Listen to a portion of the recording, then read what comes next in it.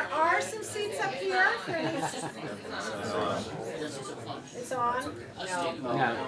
Slightly.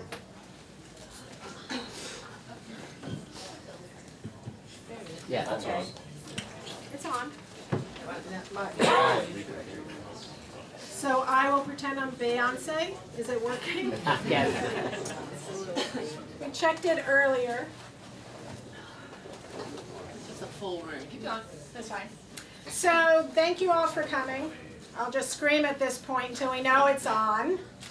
And uh, welcome to the Pulitzer Center. I see a lot of uh, new faces, so that's always exciting. And we're checking the microphone, so I'm going to keep screaming. And we do have three seats up here for any back row seaters. If you want to come up, they're free of charge.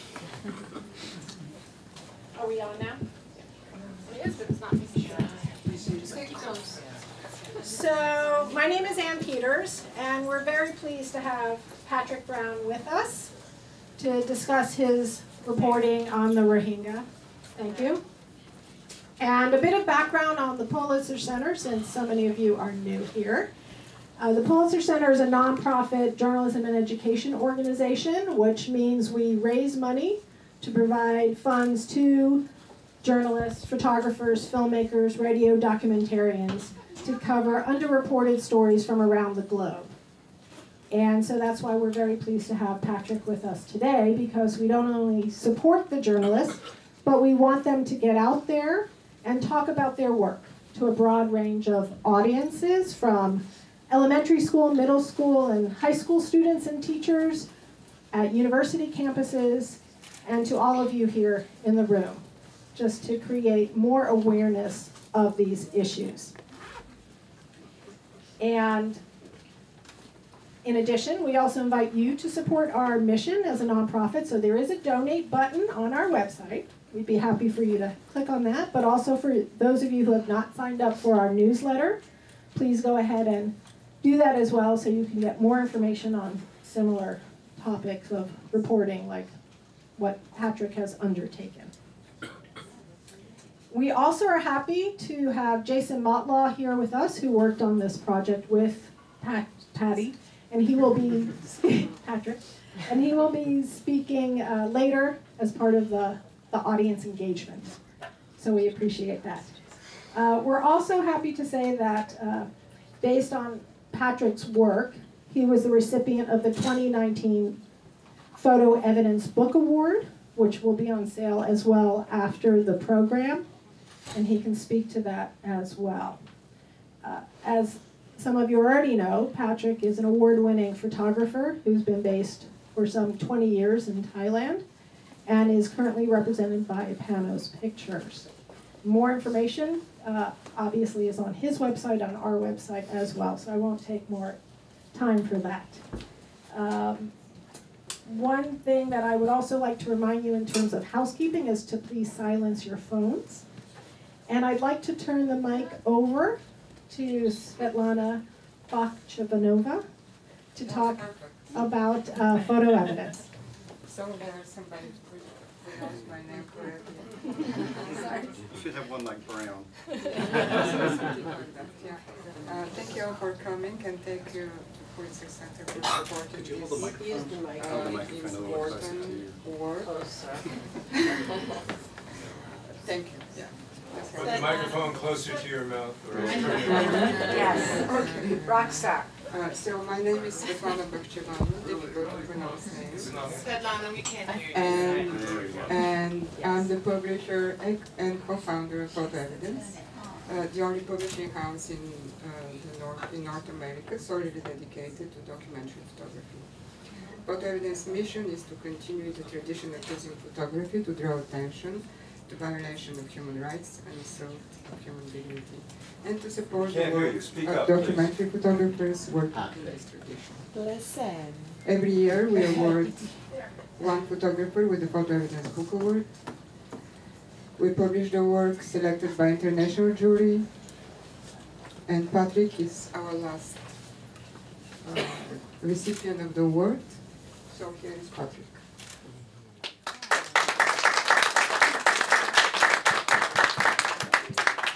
Yeah, I feel a little bit like a, a the headlights right now. Um, yeah, I would it be possible to kill these front row lights so we get a bit more of a? Um, I know there's a lot of people in this room know quite a lot about the Rohingya crisis, in the background, but I'm going to try and dress it out as smoothly as I can. Um, one of my main, or my main objectivity as, as, as a photographer is to try and develop a conversation with my images. Those, it can be confrontational, it can be difficult to have, but I think it's very important that images start a dialogue and, and continue that dialogue. So with that, if anybody's got any questions halfway through me doing, saying something, please put your hand up and there should be another microphone going around. But I, this, this doesn't, a project like this doesn't happen in isolation. There's a lot of people involved, um, from translators, fixers. Sorry, we're So having trouble hearing it in the back. Can we try this one and see if it works a little better? My mum would never say that, but anyway. Is that, is that better? I've got to go right close to my head. So, yeah, start a conversation. That's what I'm desperately want to try and do with my images. So, this was, I thought it was going to be a one week, two week, possibly a three week assignment at the most from UNICEF, but it wasn't. It ended up going on for over seven months. I was on the ground in Bangladesh and there was no it was no plan to be a book in any way. It just sort of came to what we have today. When I first got there, um, well, I'll draw it back a little bit. Is I was hearing news coming out that there was something really bad happening from in, in Burma, but it was all the news was coming from Cox's Bazar, and there was nothing coming from Rakhine State. But the stories that were coming out were, you know, pure evil, and I, I knew it was something big most of my work on to that stage has been on the eastern border uh, with Thailand, Burmese eastern border, with the with the Kachin, the Shan, the Kayin. So I was quite aware of what the Burmese military can do, and murder, executions, rape, razing of villages is, is not unheard of. But these stories were were very different. So when I first arrived, I had I had no I wasn't prepared. I was and I still feel that I never got an image that really portrayed the pure scale of it.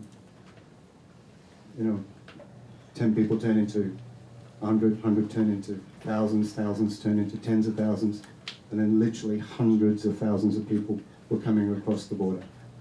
In all states, some with some cooking pots, some with the shirts on their back, some with nothing. Young Noor here the, in the forefront, and I never was able to find her again. She's 11 years old. On that boat, there was about 80 people on that boat, and that came in not too far from a tourist destination. Cox's Bazar is also the French Riviera of Bangladesh, which you can imagine isn't the French Riviera. So it's it was really there was a real there's a lot of contrast that was going on, not just in the imagery, but where these people were coming from and where they were arriving. The this, as you can see in the left of the frame, is Burma in the background. This this this group has taken five hours to paddle across the Naf River, which separates Burma and Bangladesh. Um, the reason it's taken them so long is because of the currents, but they had to time it, otherwise they would get sucked out into the open ocean, into the Bay of Bengal. And the true numbers who ever made it, who tried it, and succeeded are unknown. We really don't know. But because it was a UNICEF project, this I focus quite obviously on the children, and over 60% of the refugees are kids under the age of 14.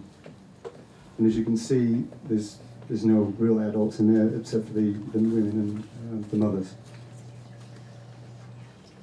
The, this raft is built out of bamboo, um, jerry cans, and stitched together with rope and lashed together, and, and there's a tarpaulin on the top of it. And that's, that's how they moved across, and there was 80 to 90 people, people on each raft. Um, myself and the National Geographic photographer John Stanmeyer um, swam out to these guys, and we got on board and we travelled with them as they moved up the coast.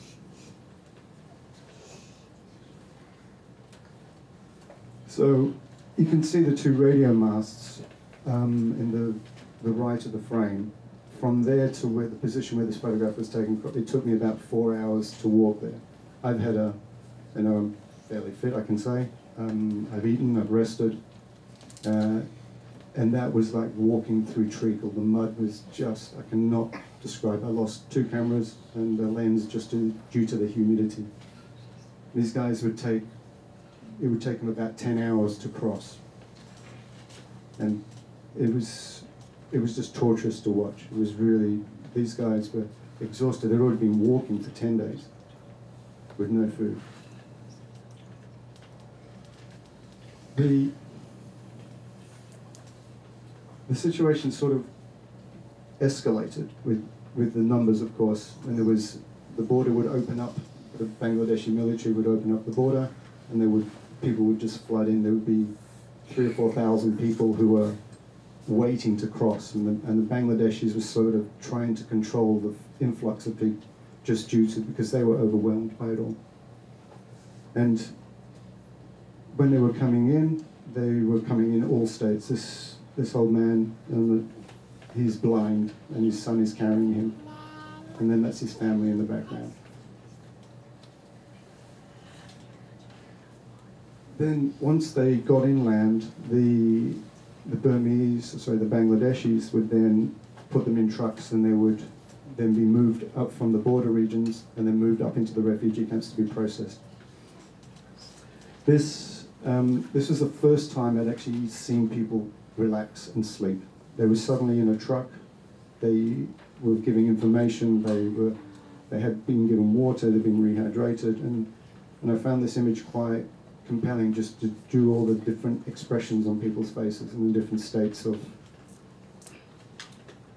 anxiousness about what's going to hold and also being relaxed and for the first time in possibly a week or two.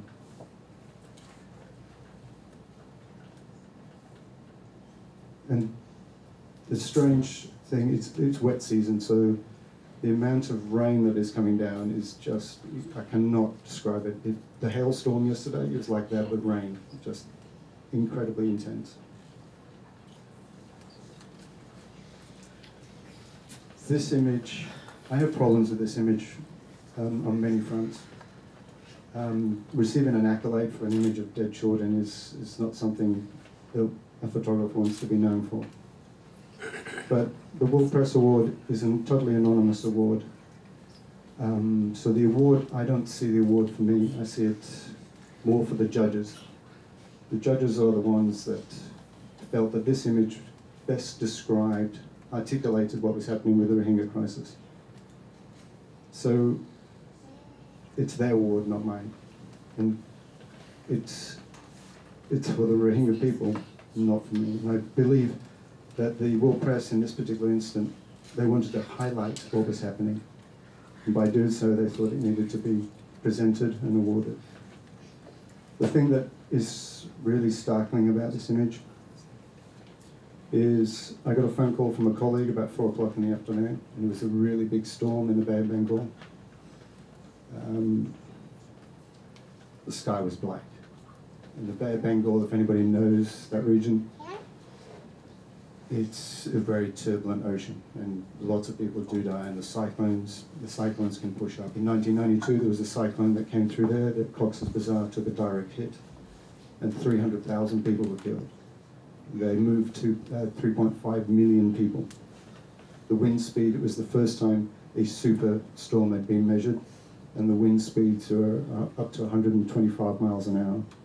So you can imagine if a storm hits there now with another 900,000 people on board, it's going to be it's going to be bad. So I got this phone call from a colleague and made my way to the scene. When I arrived, there was a mob of police, local journalists, international journalists, and sailors and fishermen that had collected the bodies and brought them up to the road. And it was the, the car headlights that were sort of coming in and out of the frame. And I slowly made my way through the crowd And there is just out of this out of this shot, there's a, a man identifying his wife. But it was the children that um, really got to me, the cloth falling over their bodies and giving them an identity without actually naming them as such. And there's so many contradictions in this image.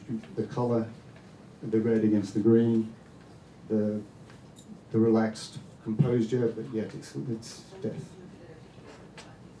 The one thing I find really troubling is the word ethnic cleansing. There's nothing clean about ethnic cleansing. It's systematic, calculative murder. And that is ethnic cleansing. The innocent.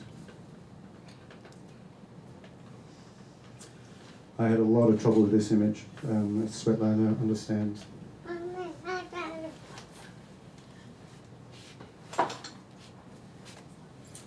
Um, I was talking to Jason today about this image. I nearly, I nearly pulled the book because of this image.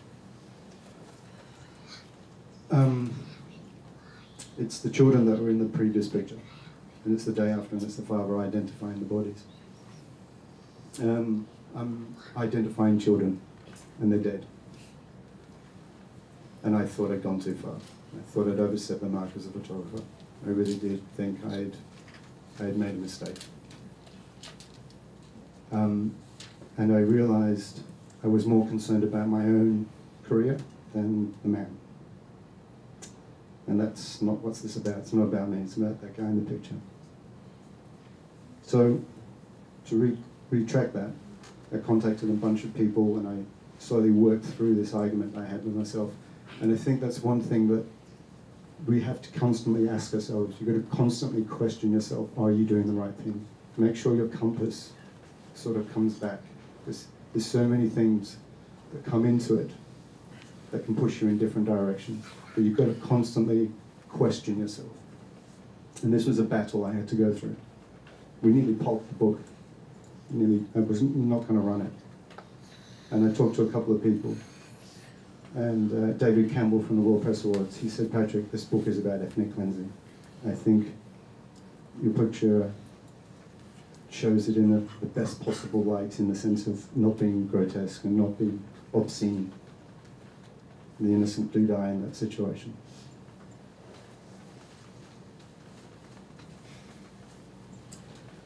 The survivors from the the boat. I'll, go back a little bit. There was 80 people on that boat. Um, there were 17 survivors and 15 bodies, uh, and that's all they were able to to reclaim. And that's the survivors burying family members or family. One of the things that the conversation that I talked about earlier on is I, I want people to realize that how lucky they are, especially what we are in the West. I mean, the most dangerous thing I've done today is I, I've had some water. I drank some water out of a tap. And um, to just realize what you have. There's 900,000 people in a refugee camp on the, and their total reliance on life is what is given to them by foreign aid. Drinkable water, latrines, education, health, everything. They have no job. They're in this, this state of flux that doesn't seem to move in either direction. And when it does, it hits a, hits a wall and bounces back in.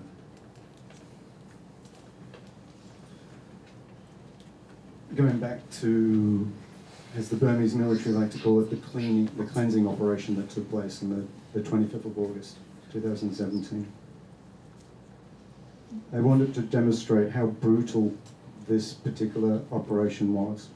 And again, there was no cleansing operation in this, in this way.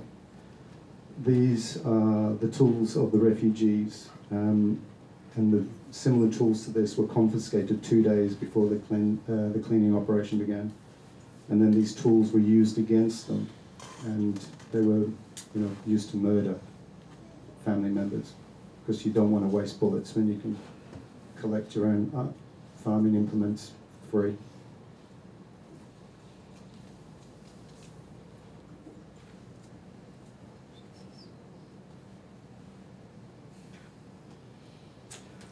I wanted the children to have a voice.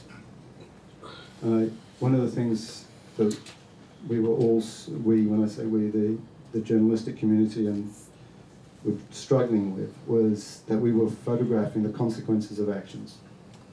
We weren't photographing the actions. So what, what people were running from, we had none of that. We just had them running to us in some way. And the only evidence that we had was besides the testimonies and the, the scars that people had or the injuries were these drawings that the UNICEF set up these learning centres with child-friendly spaces and gave them crayons, gave the children crayons and pencils and paper. With no instructions, they ended up sort of, quite a few of them started drawing these horrific scenes. And I started to document them and record them. Um, and I just, it's just so shocking that this, this is, this is drawn by a, a nine-year-old. This is drawn by a this one's drawn by a 13-year-old. And you can see on the left of the side is the is the uh, Buddhist uh, village, and in the centre is the Muslim village. Yes, they did use attack helicopters. They did use mortars. They they used a lot of big tools on these unarmed civilians. And this is a drawing from a village called Tula Toli, which experienced a, a brutal massacre. It was razed off the face of the planet. The true death toll is not known. Um, international, um, Amnesty International, Human Rights Watch, and a few other organisations have different figures. They fluctuate between 500 to 1,500 people. Some people possibly say 3,000. But it was the it was the systematic approach, as you can see from this drawing. This, this child doesn't know about systematic ethnic cleansing, but you can see by the drawing of the naivety of this drawing, but how the army surrounded and moved in from the south and attacked.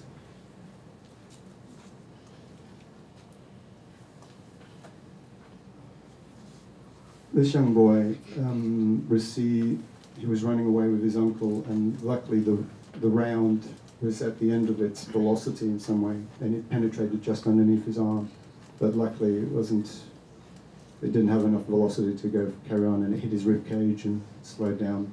But his uncle cut the the the shrapnel out, out of his chest using one of the tools that we I showed you before, and they they needed to they could only get the big pieces out. And when he got to um, Cox's Bazar, he was taken to the hospital, and then they took the rest out. But he likes to play cricket, but he, he can't bowl anymore because his arm is, is quite sore. He's a good kid. He's, he's just a kid. This this is quite an intense story. This one, Mohammed. And this was the, the first time I met him. Excuse me.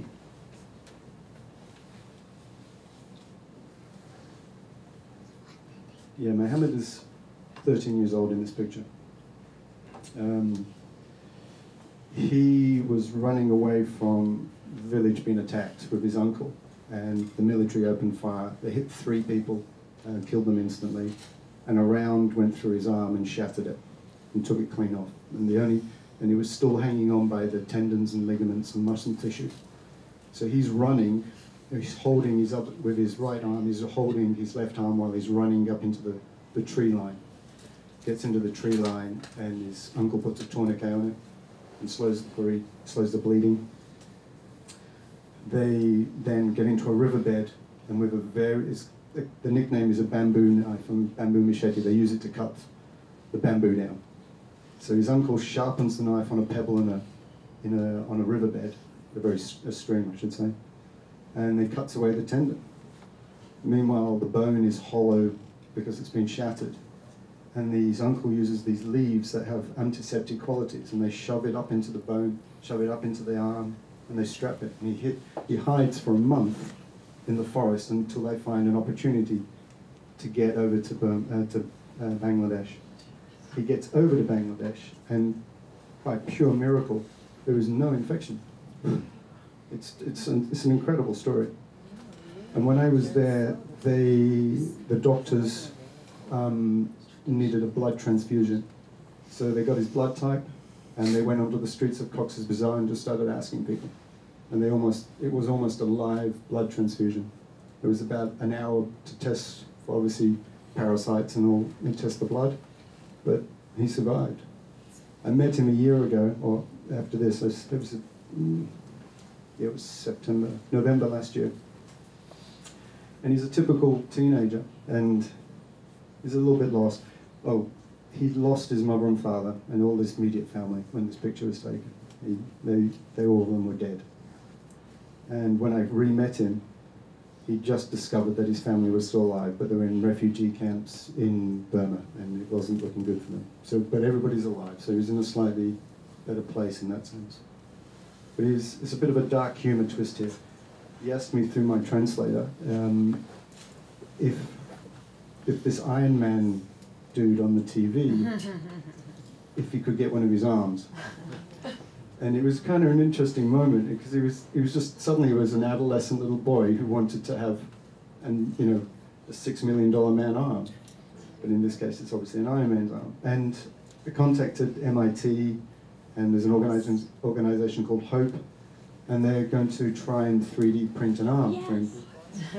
But it's very difficult because usually 3D printer arms are from the from the forearm, but it's up on there. So they're going to try and do something for him, but they're going to try and teach him code as well, and he's going to print his own arm. So there is at the end of this there is there's something for Mohammed. He's a, he's a really sweet kid.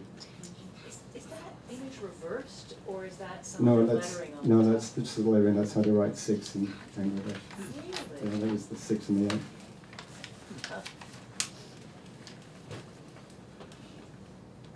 Another sad story. Um, I was waiting for the afternoon light in, in the camp, just just minding my own business as life was going on in the camp. And this, oh, she's probably in her mid twenties. She starts walking up to me with a uh, a blanket, one of those typical wool blankets that we've all seen, and usually, you know, and it's rolled up, and I could I could see what where this was going. It was obviously a, a, a body, and she just walks up to me, and, and then I follow her to her house, and she lays it out, and it was her son, and he had died from a cough. That's all we know at that time, um, and they didn't have anything to cover his face, and so they used betel betel nut leaves, and I, I just find this a really a sad but yet um, and a very, very innocent moment that's got lost. The one, the lady on the left is his mother, and the lady on the right is his auntie, and they're, they're actually looking at his body, trying to figure out what to do.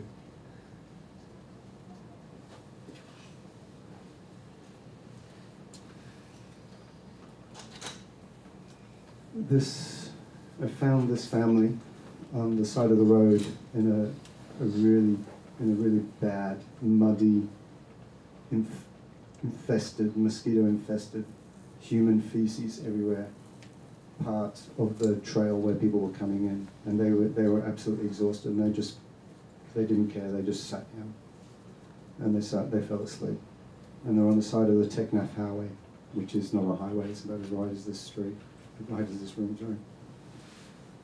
They've been walking for nine days, if my memory serves me correct, and on the seventh day, she. Oh, sorry. On the sixth day, she gave birth, and because she'd been walking for so long, she hadn't eaten, and she hadn't been taking any any intake of, of any sort.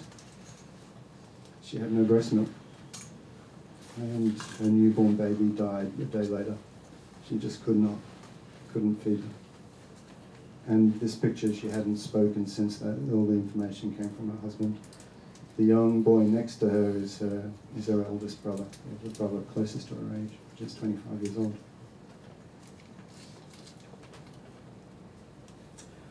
Now, the refugee camp is the size of Copenhagen. It takes you about 45 minutes to drive it. It's more, more densely populated than Manhattan. Um, it, the one thing that I that many people don't do, and I think it, it needs to be done, is actually compliment the, Bang, the Bangladeshis. Where on earth would 900,000 people roll up on somebody's doorstep and they say, okay, let's take you in? You have to give credit where it's due. This is not an easy fix. It's not going to be fixed this year, next year. But I think we sort of have to tip our hat to these guys. One of the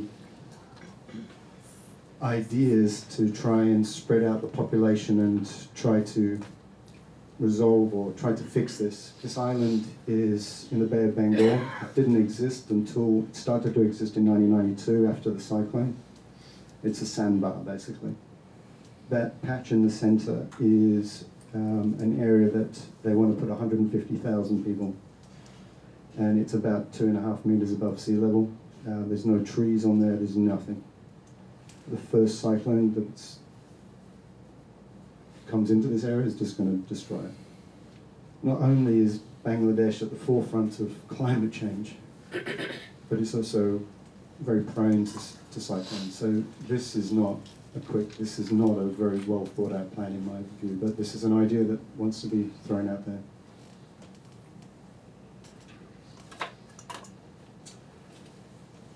Um, there's some things that I am proud of, and um, one of my things is, is, is, discovering this man. Sounds a very strange thing to say, and even coming out from my own lips. Um, I was looking for any survivors or any connection to the, the Tula Toli massacre. And, and this was shot in November 2017. What's kind of interesting about this, this gentleman is he's a retired Burmese soldier in the refugee camp. He retired in the 80s. But he was a radio operator for the Burmese military. And he was detained two days before the massacre. His family were put basically under house arrest. Yet he was locked up and put next to the radio room in the command center of the, the Burmese police, which is basically the military. They they didn't realize that he knew all the codes, he knew all the sayings, he knew all the all the information, um, and he was very much aware of what was going in, which generals were coming in, or which ranked generals coming in, on what type of helicopter. He was there. His his testimony is now in The Hague. It's now part of the UN uh, report on the violence in Burma. And sadly, he passed away uh, just not so long ago. He was a smoker, so I, and he had a bad chest when I met him, but I think that was probably the reason. But his escape is something that is made of legends. It really is. He was detained for about two months, and they kept beating him on a, a tradition um, on a regular basis, trying to get him to convert back to Buddhism. Um, and they, they really did beat him quite badly. And there is a in Thailand it's called Loy Krathong, where they release um, balloons and, and they also get very drunk. They do the same thing in Burma. And he waited for this period, and he waited for the soldiers to have a few drinks, and he went to the latrine, and he literally went through the hole in the latrine, slid down there into the, the riverbed, which is full of human feces, and then made his way out, got into the bigger stream, bigger river, and they saw him and opened fire, but they didn't get him. And he was about, took him about a week to get to the refugee camp, and he found his family. But his story is quite phenomenal. And I was, I was unaware at the time of how important his, his information was. And then I got Jason involved, and we, we cross-referenced him, and we, we tried to find out if there was any holes in his story. Not one hole in his story. His timeline was spot on every time. And yeah, his testimony is paramount to the, the Tula Toli massacre. That's him drawing in my notebook the rank of the soldiers, the, where the attack took place. Um, you can see police station, there's a circle there with the police on it, and how he escaped, and the latrines, and the village.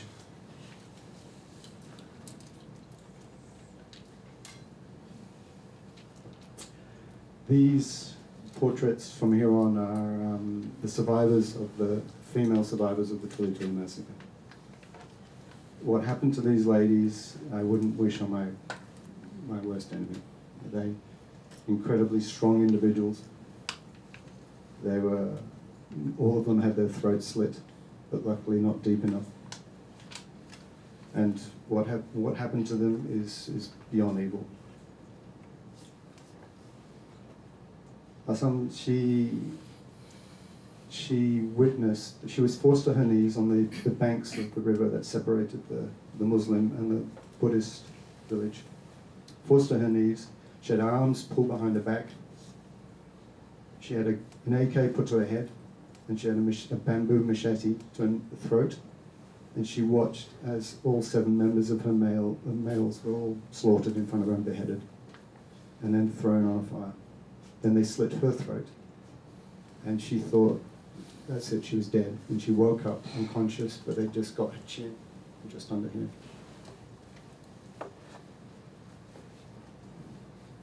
This lady, to me, is um, an absolute superhero. She's, she's an integral part of the book, an integral part of Jason's work, and, and she's a driving force of why I'm still here today.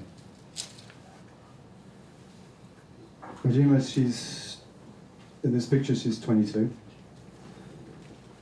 She, she was rounded up, rounded up by the Burmese military and the mob of other Rohingya women. Um, and they discovered her three-year-old boy underneath her dress. The Burmese took the three-year-old boy, killed her in front, of, killed the boy in front of her, and then threw the body on the fire. And she watched as he burnt. Then they took her into a house and raped her multiple times. And she, they locked the house up, the Burmese military and the mob locked the house up and set fire to it. And there was about nine other women that she was with. The, she found a weak point in the house and was able to break out, and she escaped. And she, she was, she looked behind her as the house was in flames, and there was no nobody following her. I had a lot of um, problems with these pictures. And the question, would I photograph these, would I photograph many of the women in this room the same way if this story was done in the West? And it took me some time to, to wrestle this. If this, the ethical question is like, you need to have a signature from somebody to give you permission to use it that signature, in my view, is not to protect these people. It's to protect the establishments that run these businesses and these magazines and publications. But it also it made me question why I was so concerned about this.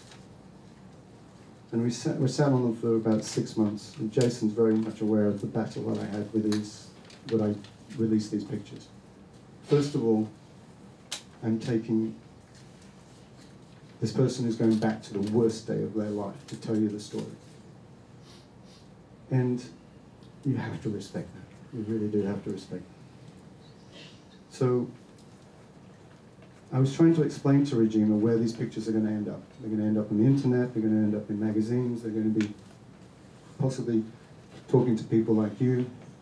It's going to be, you're going to be known around the world. This is a 20 year old illiterate woman she said to me, Patrick, I did nothing wrong. Why should I hide? I know what the internet is. I know there's a bigger world out there. I committed no crime. The crime was committed against me. And I, I realized I was looking at it from a very Anglo Saxon perspective and not looking at it from her perspective. Why should I deny her the right? This is the only justice this woman's probably going to get to see why should I deny this lady? She understands what's happened among anybody. And this is why I'm still here today, is because of Regina. Thank you.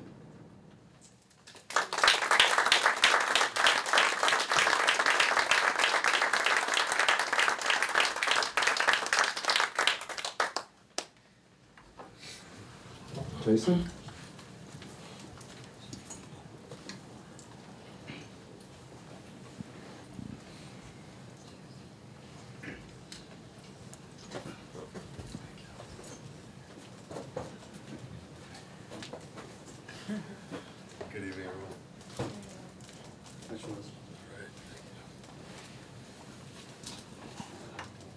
is Joe Boncavalli. I'll hand it over. Should we give one mic for the audience?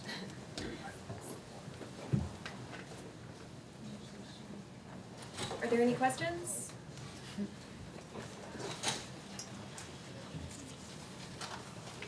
When you're documenting such horrible things, can you or how do you separate yourself in some way so you can?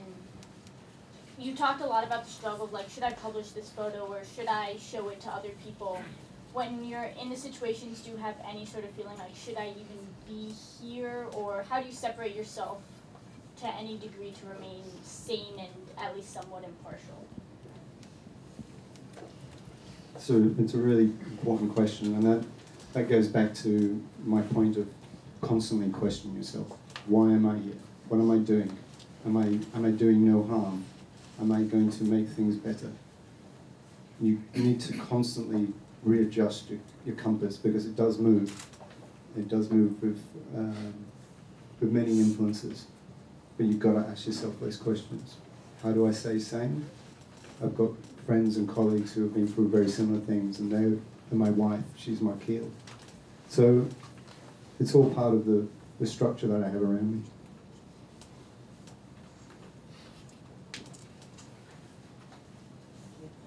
I, um, uh, is this on? It's on, I guess. I, I, we talked earlier, I, I had worked it with a human rights agency, but it's, it's so different because, uh, with, Pull the microphone closer to you. thank you, um, with a human rights agency in Thailand that had worked, uh, with Rohingya communities and on Rohingya, um, re- then refugee issues back in two thousand. But it's, it's one thing to be very distant and removed in Chiang Mai, Thailand, and not be in the, in the thick of it. Um, and now here we are in twenty nineteen without having, um, I mean, with, with seven hundred thousand more people in Cox's Bazar, which is in Bangladesh. Um, and I guess my, my question is, it's, is, what about, how are those seven hundred thousand or now nine hundred thousand people staying sane themselves? What is the joy for the Rohingya? I've, I've seen, some- I mean, it's right there in some resort area, are they able to play, are they able to get out to the ocean? Were you able to document any of, of that, or did you have the opportunity to, to hear some of the, some joy? Thank you. Kids are kids. They'll find everything to play with.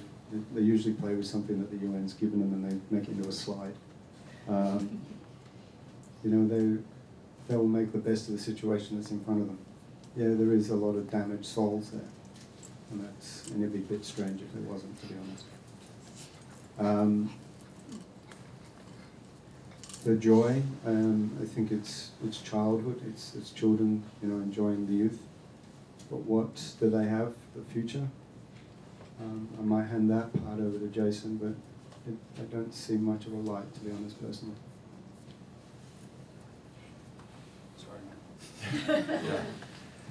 Um, I think Patty was there more recently. That's a really hard one, is that you don't want to give false hope. I think a lot of the NGOs, you know, it's in their business model to promote these various campaigns and, um, it's pretty abject.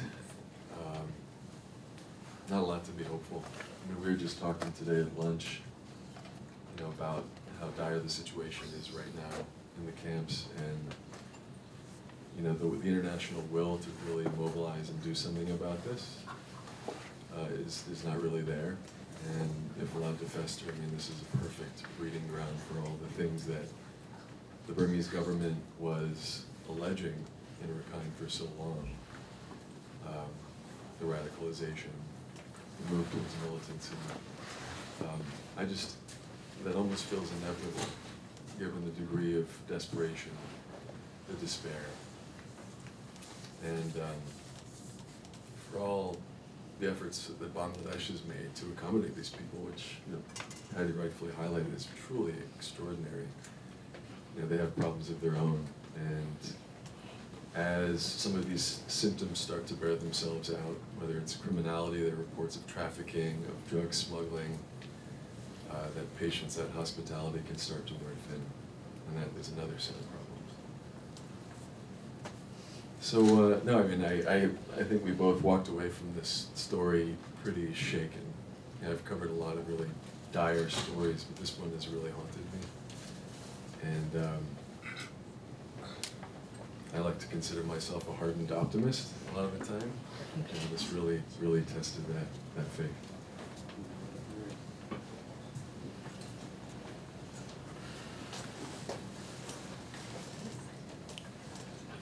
Hi, I'm Molly. Um, thank you for this presentation. I lived in Burma, Myanmar for about seven years um, and worked with a lot of Rohingya activists. There was a photographer who has been covering the camp crisis back to 2009, Greg Constantine. Um, and he has struggled with this as well. And he has tried to have photo expedition, or expeditions within Myanmar and there's this big disconnect because a lot of the community within Myanmar, because of the breakdown in geographic barriers and social media barriers, um, it's really easily to convince them that what is happening here is actually a falsity, that it's not actually happening. And I'm curious if you've tried to put these photographs and the stories on display to the mainstream public within, let's say, just Yangon and I know that's a challenge because the government in and of itself has been really uh, an obstacle for journalists and photographers in particular to get them visas and to put these uh, these photos on display. But I'm curious what your efforts are have been to reach the everyday Myanmar public on these stories and what's happening. Because I think sometimes uh, I found that when they see it with their own eyes, they're they're a bit more open to what is happening. But yeah. Just curious um, that one is a very tricky one. Very good question, thank you. Um, no, I haven't tried. I think I probably know what the answer would be, and I imagine the images would be destroyed if they were put in a public forum. But putting all that aside, um, there was a display at the uh, Rangoon Photo Festival of Kevin Frayer's work, which he won a World Press for. And kind of interesting enough, when Kevin was doing his talk, artist walk through the, the exhibition, the Burmese Ministry of Culture wasn't there. So that walk never took place. So within the community there is, it is happening, but it's also being played with very uh, cotton gloves. And how do you manage it? Because it, it's a very, very sensitive subject there is people there that know about this. Um, there's a Burmese gentleman here today from Radio Free Asia. But it's a very difficult one to actually manage, and I haven't tried myself, to be honest. But I would like to.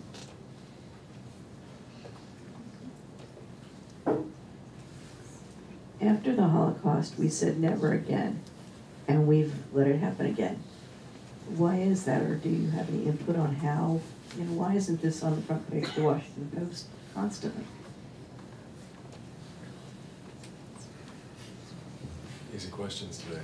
Um, yeah, that's that's what I've been railing about too.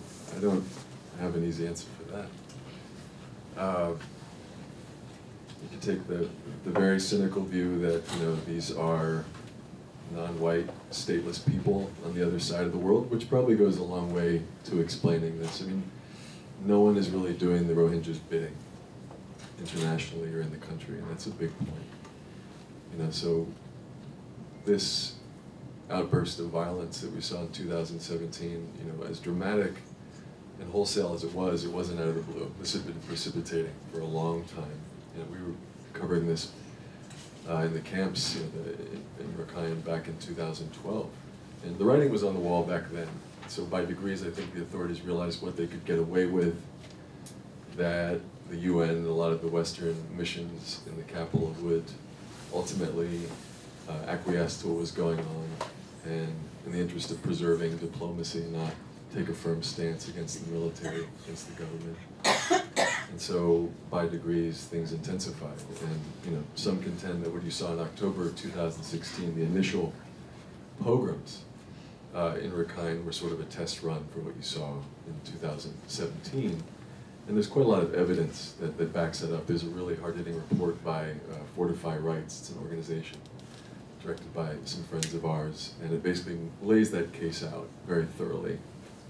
That um, the government was, you know, having already removed freedom of, of movement uh, and various other civil liberties, was prepositioning troops, was cutting off food supply, confiscating weapons, farm tools, kitchen knives, and raising uh, civil militia all in advance of this crackdown. It was then just a matter of some kind of a spark, some pretext to kick off this scorched earth campaign that you saw. And I don't think that's off the mark. Um, and uh, the way that, you know, as these different escalations were piling up, you still found this reticence among the UN and other governments to, to call it for what it was, for fear of being on the hook, you know, internationally and compelled to respond forcefully. And you know, it was only in hindsight that you started to get some strong words like, you know, ethnic cleansing or um, you know, bears the hallmarks of genocide. I mean, these euphemisms that we talk about, but no one would just call it what it is and, and enact. And we've seen this before and I don't think this will be the last time. If anything, I think what we saw here is some kind of a template in certain parts of the world, in certain contexts, where you can get away with this kind of thing. I know that sounds terrible, but uh, that's my feeling on, on where we are now. This is not new to Burma. Like I said right at the beginning, it's happening. It's happening right now in Shan State. There's a full-scale war. In southern Shan State, there's a full-on scale war. This is just the, the pure scale of what happened in Rakhine State. That is what was new to this. It was totally engineered. The, they're totally, they don't have any arms, and if they do, it's very small. The Shan State Army, the Wa, the, the Kayin, they all have soldiers. So they, the Burmese are playing those a little bit more softly than they would do with the Rohingya. So if, we need to give our attention as an entity, not just on the Rohingya, even though how drastic and dramatic it was, it's also happening in the whole country. The UN report isn't singular to the Rohingya camp, the state and the Rakhine state, but it's actually the whole country.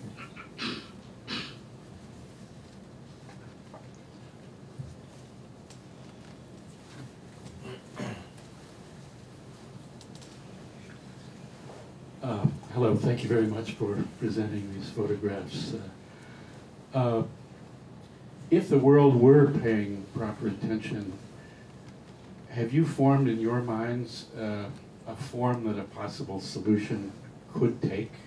What the world could do to bring about some kind of resolution on this?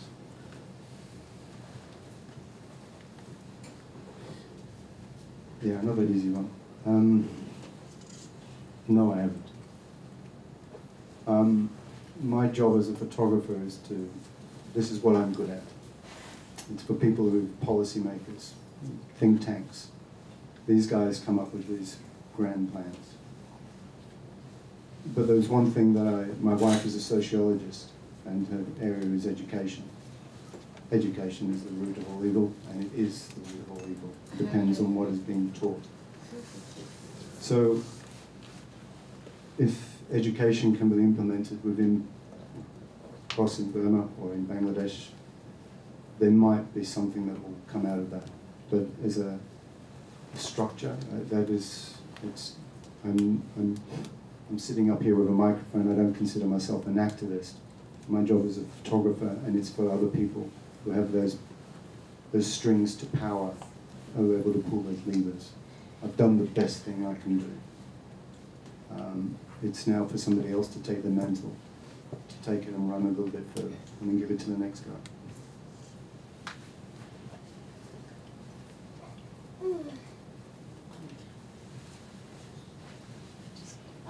I just wanted to say there's a, a local, there's an organization that's based here in Washington DC called International Campaign for the Rohingya.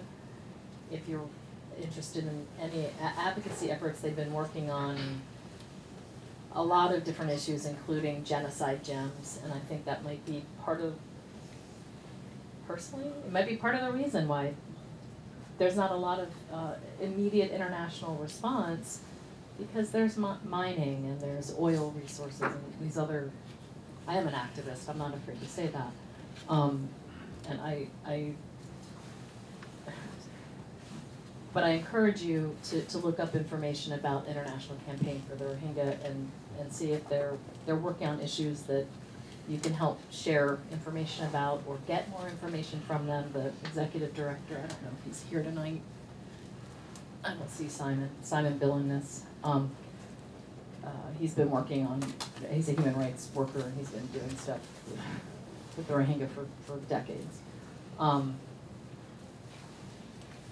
I don't have any answers personally. I, I agree that there needs to be someone that runs with it. I was, I was talking to Patrick earlier about, um, you know, the, so many other international uh, crises where there's a, a climate event or a, a mass migration, there's a lot of international attention, resources, and, and aid are, are deployed. There, there's food and wonderful, amazing Chef Jose Andres is in all these locations simultaneously with World Central Kitchen. Um, but not not in Cox's Bazar, not yet anyway. And um, that goes the same for the maybe the Bonos of the world too. I, I don't think it's on the celebrity chefs and the celebrity musicians to, to solve the world's problems, but they have the platform, but we do too. Um, I, I think if if you I, I I'm gonna just say, uh, I'm gonna reference Nike and just say, just do it. If you wanna help, just do it. So we have time for one more question, and then there'll be time, obviously, afterwards to carry on the conversations with Thanks, thanks for me as well. Um, former journalist. I have a sense of the, uh, the internet firewalls in China, and I've been in all throughout Asia except for Burma. And I, s- but I know, I don't know Burma well enough to know, I'm sure there's a lockdown on the internet. Are you aware at all of whether there have to be some seepage, there has to be some seepage into, you know, at least some universities, you would hope, or young folks, professors, anyone? Um, are you aware of whether your images have somehow penetrated, you know, those, those barriers and made it through to at least some folks, you know, change it's my, raise awareness at some level? It, that sort of follows on from the question earlier on, I think, but it has, but it's in the same echo chamber as this room. Um, the, the internet in Burma is Facebook, and Facebook has, has it, has actually stuck its hand up saying they were an integral part of this hate speech. And they saying that they didn't know anything about it. They only had five Burmese-speaking people working. Yeah, but they sort of knew what was happening. It's, it's um, Burma is a kind of interesting place when you talk about the internet. It's again, my, I'm going to reference my wife. but Is um, it's got the fastest mobile penetration of any nation on earth. It went from basically 15% of the population to 75% of the population in about a five-year window. So it was an internet experiment, and Facebook was part of it. It's all kept quite, It's not really common knowledge, um, and they wanted to see what, what would happen. Um, and this, that's documented, and you can you can find all that there. The the seepage that you were talking about, the, the firewalls, it's going to be in the same echo chambers as this. Um, they, the word Rohingya isn't even used in diplomatic language. They're not called Rohingya. They're called, ben, they're called Bengalis. So they're not even recognizing them as a, a race. So this opens up a whole can of worms that uh, people with a lot of letters after their names are still trying to struggle to figure out what to do with it. Do you wanna say anything further on the? I, I think Patty really said it. Um, yeah, it's hard to overstate how weaponized social media has become. Uh, it's virulent, and what's what's always startled me is you know for all the excellent reporting that's come out of this crisis, it's just as reflexively dismissed as fake. That these videos are engineered, that the pictures are staged, the words are lies. These aren't people. And you know, how do you get to the root of that? You know, when can so easily dehumanize an entire group and trivialize the most awful things imaginable. I think a lot of that just speaks to how systematically the authorities, the military namely, has demonized this group, stripping them of their rights and trying to foment the kind of radical behavior that aligns with this caricature that they've created, stoking fear, and it's not just the Rohingya, it's dozens of other ethnic groups around the periphery that the, the, the very essence of the country, that the Buddhist character is under attack. And they've cultivated that very craftily, and I think you're seeing the, the fallout of that right now. It's, it's, it's deeply embedded. So I want to thank our speakers, Patty and uh, Jason. Thank you very much. Um,